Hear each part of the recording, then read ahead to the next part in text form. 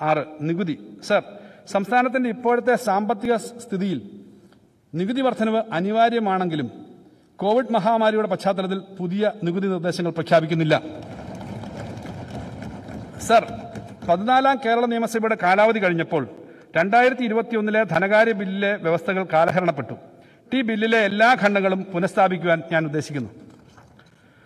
Sir കൂടാതെ രണ്ടായിരത്തി ഇരുപതിലെ ആംനസ്റ്റി പദ്ധതിയിൽ കുറഞ്ഞത് ഒരു തവണയെങ്കിലും അടയ്ക്കുകയും ബാക്കിയുള്ളവയിൽ വീഴ്ച വരുത്തുകയും ചെയ്ത നികുതിദായകർക്ക് തവണയായി അടച്ച തുക കുടിശ്ശികകളിൽ ഏറ്റവും പഴയ പഴയ കുടിശ്ശികയിലേക്കുള്ള നികുതി അടവായി ക്രമീകരിക്കുമെന്ന് വ്യക്തമാക്കുന്നു. സർ ചരക്ക് സേവന നികുതി നിയമത്തിൽ ജി എസ് ടി കൗൺസിൽ ശുപാർശ ചെയ്ത ഭേദഗതി ഭേദഗതികൾ രണ്ടായിരത്തി ഇരുപത്തി ഒന്നിലെ കേന്ദ്ര ധനകാര്യ നിയമപ്രകാരം സി ജി എസ് ടി നികുതി നിയമത്തിൽ ഭേദഗതി വരുത്തുകയുണ്ടായി.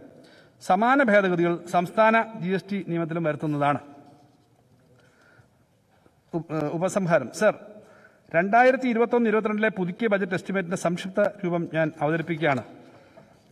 രണ്ടായിരത്തി ഇരുപത്തിയൊന്ന് ഇരുപത്തിരണ്ടിലെ പുതുക്കിയ എസ്റ്റിമേറ്റ് രൂപ കോടിയിൽ റവന്യൂ വരവ് ഒരു ലക്ഷത്തി മുപ്പതിനായിരത്തി തൊള്ളായിരത്തി എൺപത്തി ഒന്ന് ദശാംശം പൂജ്യം ആറ്. റവന്യൂ ചെലവ് ഒരു ലക്ഷത്തി നാൽപ്പത്തി ഏഴായിരത്തി എണ്ണൂറ്റി തൊണ്ണൂറ്റൊന്ന് ദശാംശം ഒന്ന് എട്ട്. റവന്യൂ കമ്മി മൈനസ് പതിനാറായിരത്തി തൊള്ളായിരത്തി പത്ത് പോയിന്റ് ദശാംശം ഒന്ന് രണ്ട്. മൂലധന ചെലവ് തനി. മൈനസ് പന്തീരായിരത്തി അഞ്ഞൂറ്റി നാൽപ്പത്തി ആറ് ദശാംശം ഒന്ന് ഏഴ്. വായ്പകളും മുൻകൂറുകളും തനി. മൈനസ് ആയിരത്തി ഇരുന്നൂറ്റി നാൽപ്പത്തി ഒന്ന് ദശാംശം മൂന്ന് പൂജ്യം. പൊതുകടം തനി. ഇരുപത്തിനാലായിരത്തി നാനൂറ്റി പത്തൊമ്പത് ദശാംശം ഒമ്പത് ഒന്ന്. പൊതുക്കണക്ക് തനി. ആറായിരത്തി ഇരുന്നൂറ്റമ്പത് ദശാംശം ആറായിരത്തി ഇരുന്നൂറ്റമ്പത് കോടി. ആകെ കമ്മി. മൈനസ് ഇരുപത്തേഴ് പോയിന്റ് ആറ് എട്ട്. വർഷാരംഭ രൊക്ക ബാക്കി. മൈനസ് നൂറ്റി ഇരുപത്തിനാല് ദശാംശം പൂജ്യം ഒന്ന്. വർഷാന്ത്യ രൊക്ക ബാക്കി. വർഷാന്ത്യ വർഷാന്ത്യ രൊക്ക ബാക്കി. മൈനസ് നൂറ്റി അൻപത്തൊന്ന് പോയിന്റ് ആറ് ഒമ്പത്. ഇപ്പോൾ പ്രഖ്യാപിച്ച അധിക ചെലവ് മൈനസ് ആയിരത്തി എഴുന്നൂറ്റി പതിനഞ്ച് ദശാംശം ഒന്ന് പൂജ്യം. വർഷാന്ത്യ രൊക്ക ബാക്കി. മൈനസ് ആയിരത്തി എണ്ണൂറ്റി അറുപത്തി ആറ് ദശാംശം ഏഴ് ഒമ്പത്.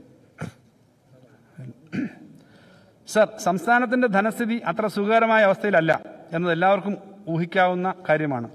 നോട്ട് നിരോധനം വേണ്ടത്ര തയ്യാറെടുപ്പില്ലാതെയുള്ള ജി എസ് ടി നടപ്പിലാക്കൽ ഓഖി പ്രളയങ്ങൾ മഹാമാരിയുടെ ഒന്നും രണ്ടും തരംഗങ്ങൾ സാമ്പത്തിക മാന്ദ്യം എന്നിവ നികുതി നികുതിയേതര വരുമാനത്തെ വളരെ പ്രതികൂലമായി ബാധിച്ചു. ചെലവ് ചുരുക്കി മാറി നിൽക്കാം. ഇടതുപക്ഷത്തിന്റെ സമീപനം അതല്ല. പ്രതിസന്ധി ഘട്ടങ്ങളിൽ കടമെടുത്തായാലും മുൻനിരയിൽ നിന്ന് നാടിനെ ആപത്തിൽ നിന്ന് രക്ഷിക്കുക എന്നതാണ് ഇടതുപക്ഷ സമീപനം. ഒന്നാം പിണറായി സർക്കാർ അതാണ് ചെയ്തത്. ഈ നയം ആ ആ നയം തന്നെ ഈ സർക്കാരും പിന്തുടരും. സർ എന്നാൽ നികുതി നികുതിയേതര വരുമാനം കൂടാതെ ഇനി അധികകാലം പിടിച്ചു നിൽക്കാനാവില്ല എന്നതിന് സംശയമില്ല.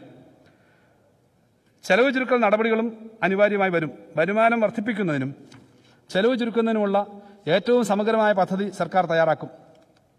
അതിന് പ്രാരംഭ പ്രവർത്തനങ്ങൾ തുടങ്ങിക്കഴിഞ്ഞു. പക്ഷേ ഈ രണ്ട് കാര്യങ്ങളും ഊർജിതമാക്കാൻ പറ്റിയ സന്ദർഭമല്ല ഇപ്പോഴുള്ളത്.